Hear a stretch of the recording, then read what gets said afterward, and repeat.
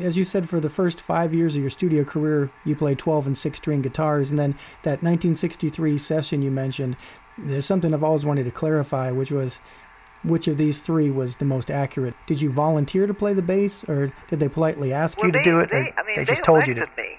Yeah. Uh, I had been playing the Dano bass guitar here and there, you know, like Yeah. for Sonny and Cher, and then for Dobie Gray, I'm in with the in crowd. You know, I'm playing Mhm. uh, playing the Dano on that, and the Dano on, on some other things too. Right. So I mean, so they knew that I was kind of like bass oriented, and I started to, to make up bass lines on, on guitar too. See, Right. so they wanted me to play bass, and that's what happened. Yeah, because I was wondering if even if that bass player hadn't failed to show up, if you would have naturally gravitated towards the bass anyways, because you were often. Oh, no, huh? No? huh?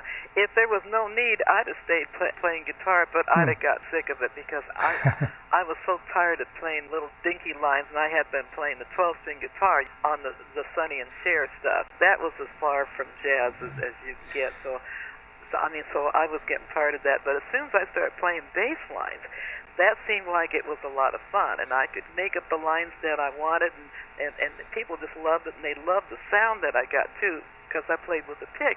But I mean, but there were three or four other bass players that also played with the pick. Most of the stuff that you heard that was cut in Los Angeles uh, studios it, in the '60s was done with the pick. Right.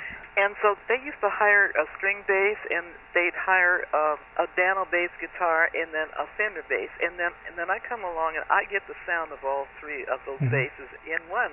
They just love the sound, and they love the idea that I could invent uh, Yeah. lines, you know, like I did. One of the most distinct characteristics of your sound to me and what makes it so easily recognizable is the precision that each note is struck with. They're each articulated very clearly with equal volume, but without ever sacrificing the feel. Because a lot of the, the guys who play with their fingers, there's less consistency in the volume of each individual note. They hit some harder and some softer. And Yeah, well, it seems like it's that way now too.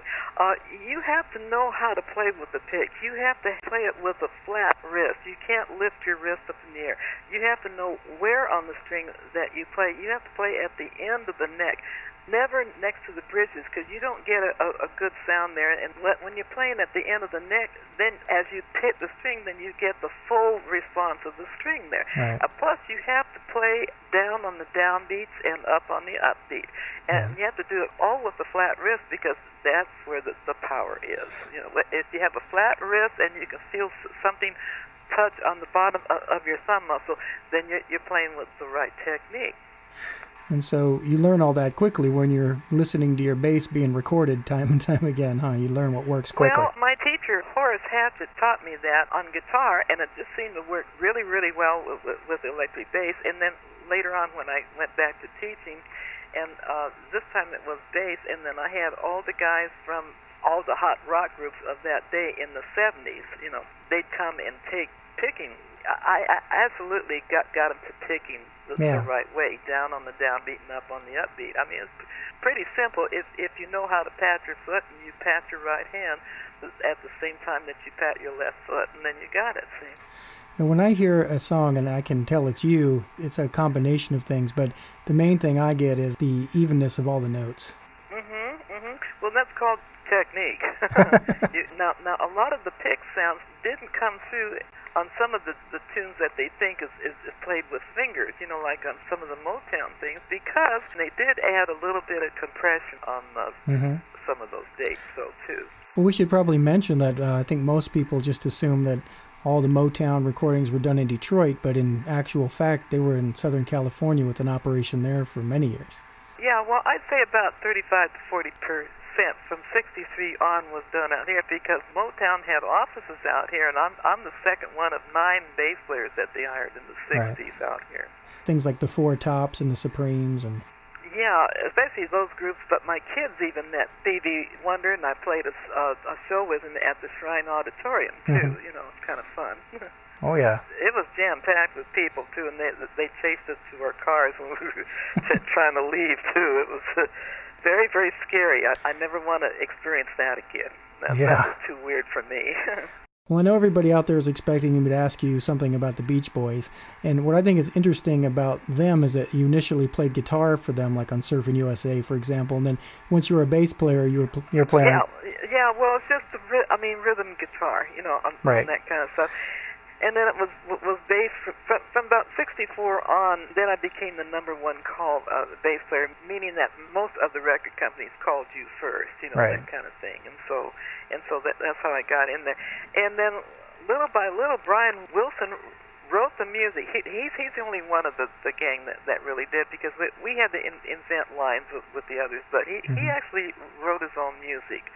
Uh, brought the parts in, and so it was kind of fun to, to work for him because you, you saw him grow very, very fast. He, he he got out of that surf rock into a lot of different sounds, and I didn't even know that he was a bass player until like later on.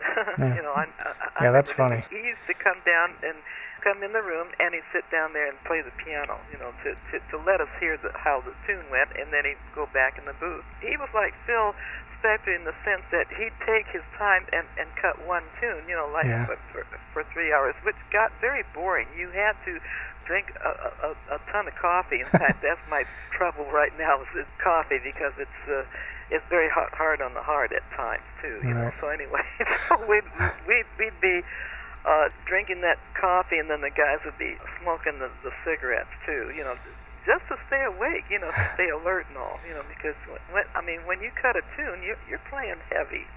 Well, there's no reason for him to play bass if he had you there. So. Well, I didn't know that that he played bass, but everybody used us. I mean, right. if they wanted a hit hit, hit record, that they used us. A lot of times we'd cut tracks, and if the track would hit, then they'd form a group around that track of music. See? Mm-hmm. So that's what happened. Well, did you think it was kind of strange that in 1967 you recorded the Smile sessions and they weren't released until 37 years later? in 2004? Well, you know, when you're in the studio cutting music, you do what you can, you're paying attention, and you're playing as hard as you can, and you, you cut the music. And then as soon as you walk out the door, you forget about that because you got to mm-hmm. get ready for the next date of the day, you know. And you run around with your gear and stuff in your car, and then you jump in there, and then the um, movers have your second amp there on, on, on the second date of the day. So I'd run in and I'd do the same thing for the next group. I mean, it might be Ray Charles, it might be all kinds of, of, of people all mm-hmm. all on the same day, different styles of music. So whatever he was going to do with the music, we had no idea of, you know. So, but I mean, but once in a while, I'd hear some of the stuff on, on the radio and think, yeah, boy, that that sounds good. You know, it, it, this sounded really good what he was doing. Well, I know that you're you're well known for playing on uh, the Pet Sounds album, and I know that uh, Paul McCartney's a big fan of that album, and he and Brian Wilson acknowledge the influence they had on each other. I can hear the influence of your playing on the bass on Sergeant Pepper. Did um did McCartney or anybody else, for that matter, influence your playing, or were you, as you said, were you just too busy no, to follow? I never listened to anybody. You didn't uh, have time. It, it didn't have time, and if I did have time, I'd make it down to the jazz club. I'm right. going to hear some, some, bebop. You know, just because you're in the studio cutting rock and roll doesn't mean that you go out to hear rock and roll. I mean, we were jazz players, you know, mm-hmm. and then we we would go hear jazz, you know, if we had any time at all. And back to you saying you were so busy. Is it true that instead of changing the strings on your bass, you just go to the store and give them your bass and get a oh, new I bass? take the instrument in and and just run in on my lunch break and I say, okay, get, I mean, give me another bass because I need a new set of strings. I check to make sure that, that the neck was okay. That's about once every two years. I, I usually had two basses. One, one was there, and I, I'd always be, be running in to get a new bass, and then I'd make sure that the strings were okay. But a lot of times I, I'd have to take the neck off and put a shim in the neck, too, because a lot of times those necks weren't that great the bass was the board with strings on it. You know, I mean, it was the only bass that got that sound. It was the Fender Precision, you know, and it, it, it got that sound with the flat wound strings. And I used the uh, the felt uh, as a mute on top. You just need something j- just to lay on top of the strings, just to cut out the bad overtones and, and undertones that would kill your sound. You know, and then sounded good on the record. You so you'd play two years oh, before yeah, you change strings. Change strings. Oh Yeah. my god. well, that's one solution. If they're paying you well, just get a new bass and keep going. That's it. That's it. I mean, it was a tool. A lot of people think, "Oh no, you didn't keep all your instruments." I said, "Heck no." I mean, the the bass was a tool, It was a business. The only instrument that I do miss is the Epiphone guitar, but Yeah. but when I started to move back and forth between here and Colorado, the the, the instrument started to fall apart. Anyway, and, and at one time, I mean, this was when somebody tried to steal my publishing company from me, and, and I lost everything for, for for about three or four years. And and so I had to sell the guitar to move back to Colorado.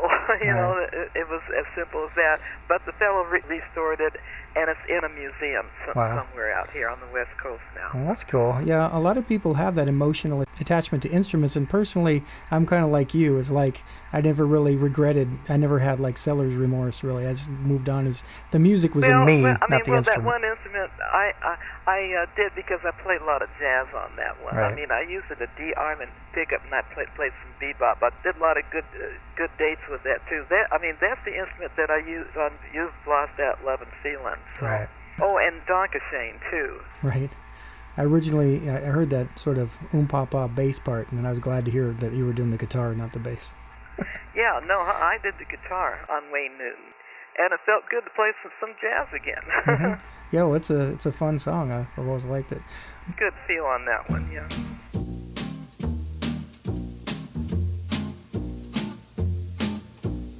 Danke schön, darling, danke schön.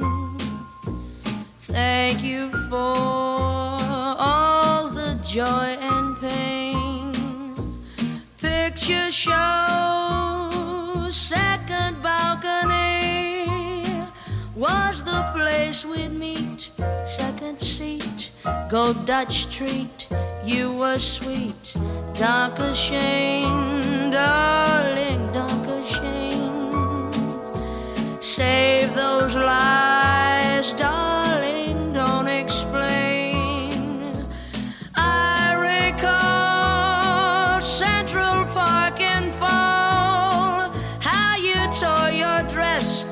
what a mess.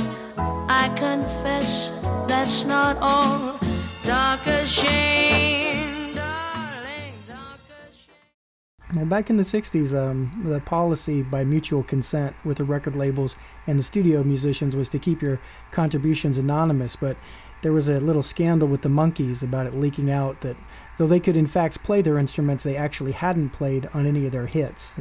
Um, did your name well, come they out? did something. They, I mean, they did something, but they used us on most of the stuff that they that they cut. But they were pretty fair, you know, like to get on on, on stage and play. I mean, just Uh-huh. like the Beach Boys could get up there and, and play and sing too. Right. Uh, but I mean, but I think the, the singing was so good that the, that the people didn't notice that it wasn't quite as good as the record. Now Right. there's a group called the Hondells and, and the Marketts, and I've had people say that they would go hear them, and they simply didn't sound like the record. You know, so they they I mean they always wondered about that. All right, because they weren't on the record.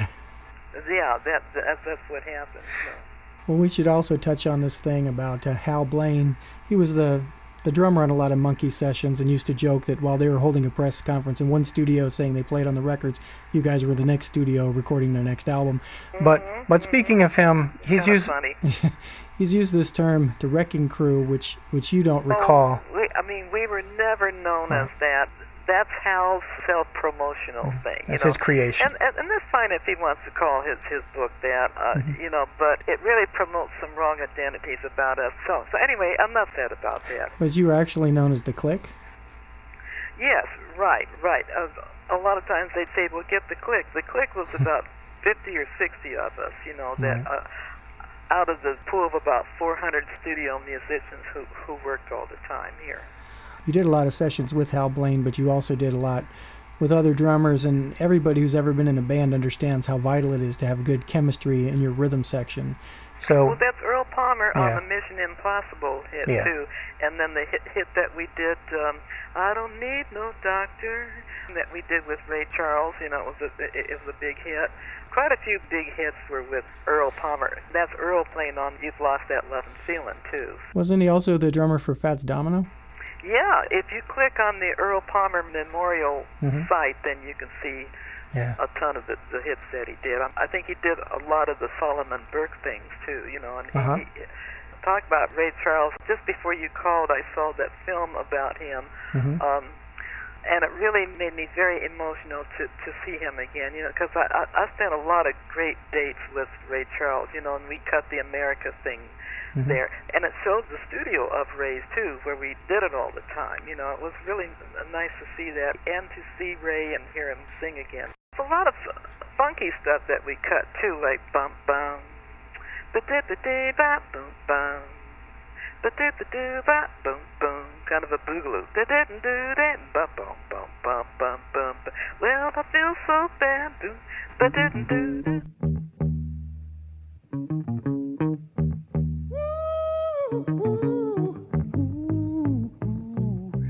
I feel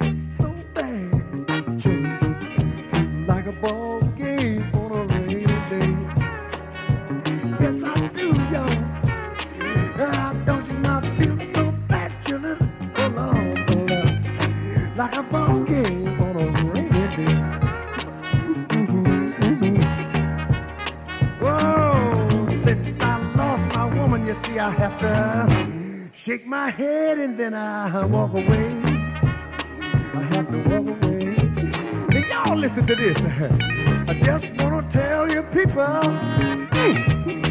I wanna tell you just how I feel. Can you hear me now? Oh, I wanna tell all you people out there. I wanna tell you just how I feel.